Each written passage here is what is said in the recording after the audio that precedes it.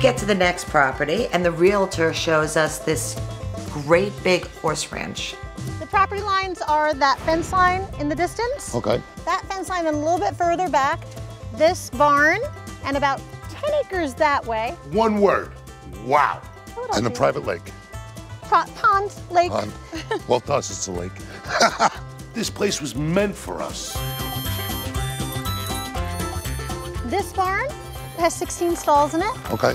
This is the viewing area. Oh my God. We have the big indoor arena. It's amazing. I mean, it's truly amazing. This is exactly what I was looking for. Do You love it? Yeah, I think the cats would love it too. I could have fit 5,000 cats in there. So let's go outside and talk. Oh my God. Can you speak? What are we supposed? It's, it's too much to talk about. It is an amazing property. Like I agree, hundred percent. I see myself sitting on the grass on a beautiful day with hundreds and hundreds of very happy animals all around me. So what do you think? We in love, in love. One question.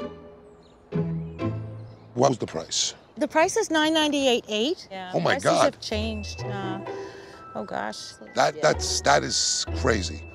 Where am I coming up with this Gita? Where am I coming up with this money? Where am I going to come up with this wood? Where am I coming up with this gelt? Where am I coming up with the vazols? Wow. I got to come up with a lot of money for these sanctuary. I got no idea how I'm going to pull this one off.